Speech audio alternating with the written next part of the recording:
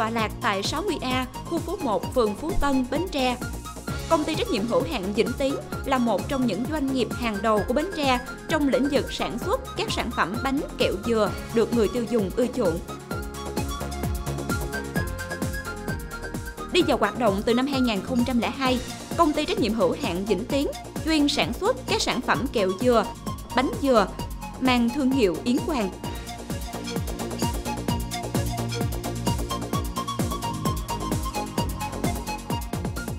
Trong sản xuất, công ty luôn chú trọng vấn đề vệ sinh an toàn thực phẩm, không sử dụng hóa chất, đảm bảo quy trình sản xuất, kiểm tra khắc khe thành phẩm để bảo vệ sức khỏe người tiêu dùng.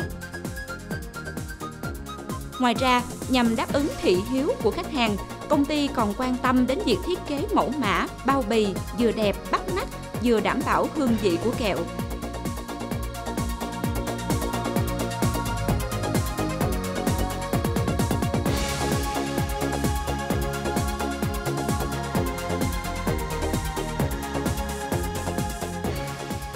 Nhờ áp dụng hệ thống quản lý chất lượng theo tiêu chuẩn ISO 9001-2015,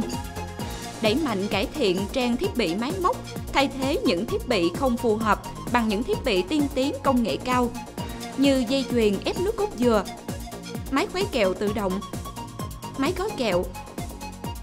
Nên sản phẩm của công ty tăng lên đáng kể cả về số lượng cũng như chất lượng, được khách hàng trong và ngoài nước đánh giá cao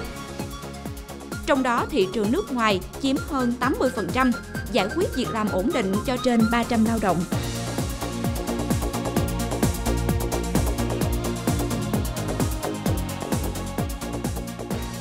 Trên bước đường phát triển, doanh nghiệp đã vượt qua những thời khắc khó khăn, từng bước khẳng định bản lĩnh và gây dựng nên thương hiệu Yến Hoàng của công ty Vĩnh Tiến, tiêu biểu của ngành bánh kẹo.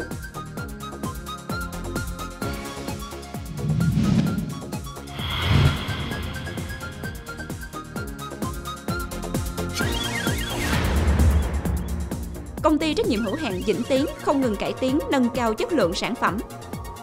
Năm 2009, công ty đã sáng tạo ra công nghệ sản xuất kẹo dừa không dính răng.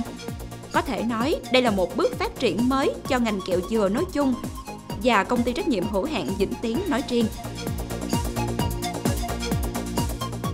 Kẹo dừa trên thị trường có nhiều sản phẩm,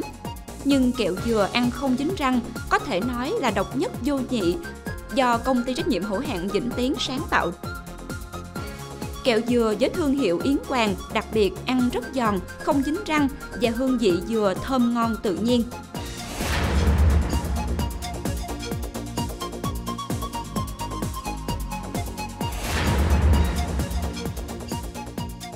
Một sản phẩm đặc sắc khác của công ty là bánh dừa Bánh dừa được làm từ cơm dừa tươi, mang hương vị béo và thơm tự nhiên của dừa, giòn tan và tinh khiết, không sử dụng hóa chất và chất bảo quản. Và đây cũng là một sáng kiến mới của một người giám đốc tâm huyết với những sản vật của quê hương.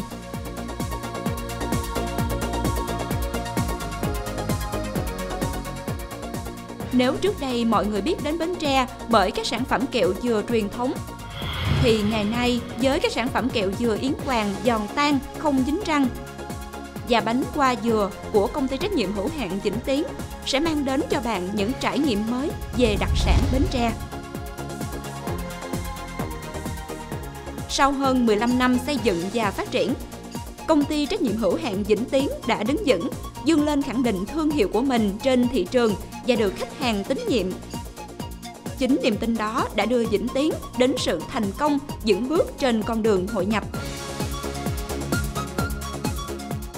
Nỗ lực khẳng định thương hiệu Vĩnh Tiến trong thời gian qua đã được ghi nhận bởi nhiều giấy bằng khen của các cấp, các ngành.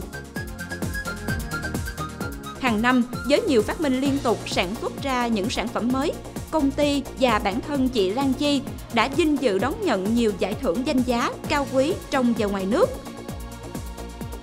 đây không phải là danh dự của riêng chị Đặng Thị Trúc Lan Chi, giám đốc công ty trách nhiệm hữu hạn Vĩnh Tiến, mà còn là niềm tự hào của đất và người Bến Tre.